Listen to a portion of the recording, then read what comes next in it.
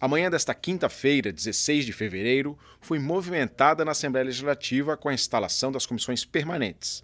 Uma delas foi a Comissão de Trabalho, Administração e Serviço Público. O colegiado será presidido pelo deputado Ivan Nats, do PL, e o deputado Vonei Weber, do MDB, será o vice-presidente.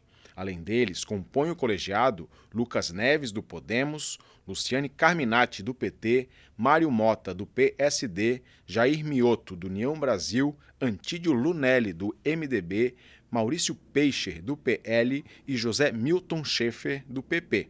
O deputado Ivan Nats presidiu a Comissão de Meio Ambiente na última legislatura e agora fala do novo desafio, à frente da Comissão de Trabalho. É uma comissão de extrema importância para o funcionamento do governo do Estado de Santa Catarina e também para os assuntos de interesse dos catarinenses.